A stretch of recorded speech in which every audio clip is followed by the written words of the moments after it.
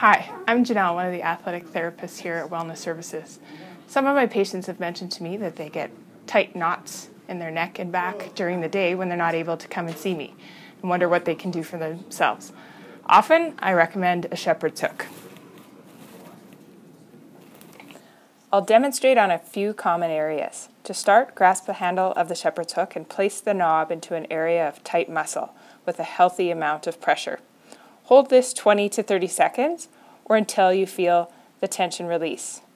This is useful for relieving muscle tension or muscle knots and to decrease pain. I hope this info helps, and thanks again for watching this podcast.